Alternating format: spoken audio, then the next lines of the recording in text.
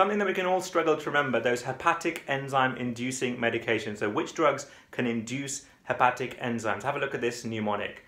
General practitioners or physicians, depending on what type of doctor you are, should carefully read all patient stories, thereby inducing good patient care. General practitioners or physicians should carefully read all patient stories, thereby inducing good patient care. What do these stand for? G is griseofulvin, P is phenytoin, S are sulfonylureas, C is carbamazepine, R is rifampicin, A is alcohol long use, P is phenobarbital, and S is St. John's wort. General practitioners or physicians should carefully read all patient stories, thereby inducing good patient care. Griseofulvin, phenytoin, sulfonylureas, carbamazepine, rifampicin, alcohol, phenobarbital, St. John's wort. There are many others as well. Hope this helps.